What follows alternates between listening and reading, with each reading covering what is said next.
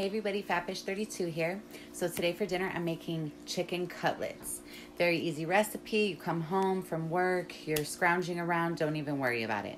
So let's get to the ingredients so we can start cooking.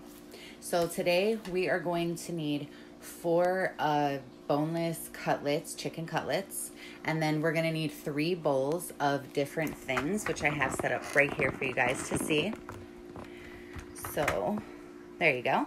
So you're gonna need two eggs whisked and you do not, you wanna whisk them so you do not see any of the egg white lines in there. So I've got that all scrambled up. Then in this bowl, you're gonna have your flour, your salt, and your pepper. One cup of flour, a half a teaspoon salt and pepper, mix that up really well. Then for your third bowl, you're gonna have your breadcrumbs and your Parmesan cheese.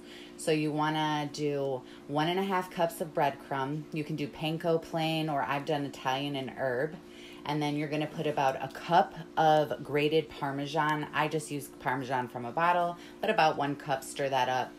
Should have a nice aroma of Parmesan cheese in there. You want one medium lemon. You're gonna need two tablespoons of olive oil. And then your chicken cutlets. So first you wanna take some plastic wrap on your counter, any flat surface. You wanna take a rolling pin or any kind of malice that you have, maybe a meat malice. Put one strip of uh, wrap on the counter. Then you're going to put your four chicken cutlets on there. You're going to put another thing of plastic wrap on top and you're going to pound those down to one fourth inch thick. And then you're going to cut them horizontally so each one is then two cutlets. So I'll show you what that looks like right here. I've already got mine pounded down to a four inch thick. Okay. So I'm going to cut those horizontally and then we're going to get our uh, cast iron skillet with the two tablespoons of olive oil and start heating that up so we can make our Parmesan crusted chicken cutlets. Okay guys, so I cut my cutlets into halves horizontally. So now they're two in each cutlet. There we go. I've got my cast iron skillet on the stove. I put my two tablespoons of olive oil and started heating that up on medium high heat. Turn it down just a little bit after it gets hot, not too much. Right? I decided to go with my smaller cast iron skillet. I'm just gonna do two cutlets at a time. I don't wanna overcrowd the pan or anything. I want them to cook well. So what you're gonna do, starting with each cutlet, you're gonna take one, you're gonna dredge it through the flour mixture. Then you're gonna put it in the egg. Then you're gonna put it in your breadcrumbs, kind of press them in to make sure those breadcrumbs stick. Then you're gonna put it in your pan and cook them on each side four to five minutes. So let's see what that looks like, right? All right, taking my first cutlet. So we're gonna put that right in the flour, like that. All right, shake off any excess and then let's put it in the egg. The lemon you can just cut into wedges. You're gonna serve it with the chicken cutlets after, so it's not a big deal if you haven't done anything with it. All right.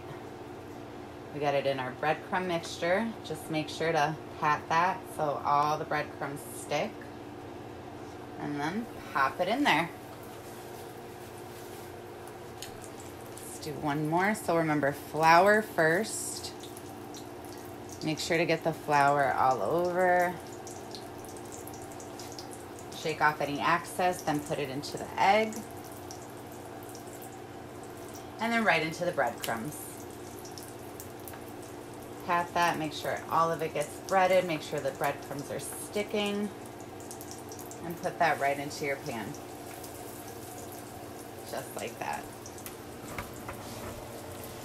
Give you guys a little clearer look there. Okay.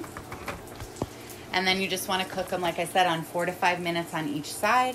When they're done, just take them out, put them on a plate with a paper towel so they can drain a little bit, all the oil and fat and stuff and then serve it with whatever you like. Okay, so the first set of two cutlets are done and I've got two more going in the pan. And then I'll show you what they came out like. And there they are. Put it in the light so you guys can see a little better. So I hope you guys enjoyed this recipe for Parmesan crusted chicken cutlets.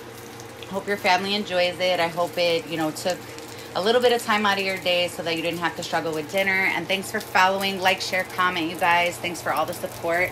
Remember to follow me on Instagram, Fatfish32, Facebook, Fat Topics.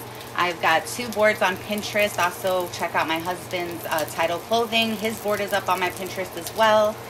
Um, and also Fat Topics or Fat Girl in the Kitchen on my IGTV. Don't forget to check that out either. Have a great night, everybody.